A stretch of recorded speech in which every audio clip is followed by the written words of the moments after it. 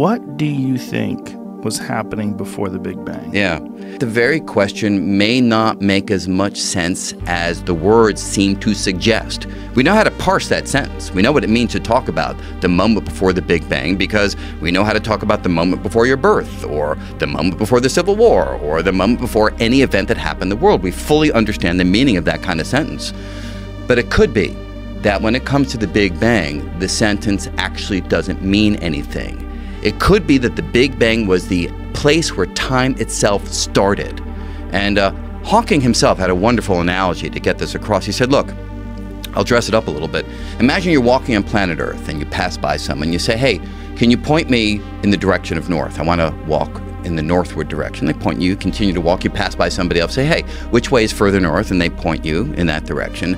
But when you get to the North Pole and talk to somebody there and say, hey, how do I go further north? They look at you and say, whoa, that question doesn't mean anything because this is where north begins. There's no notion of going further north than the North Pole.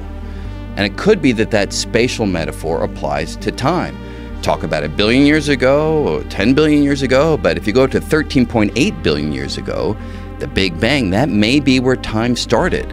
And you can't go further back in time than the very origin of time itself. That freaks me out. Yeah. See that that's one that, that it gets in your head. And you go, what do you mean beginning of time? Yeah.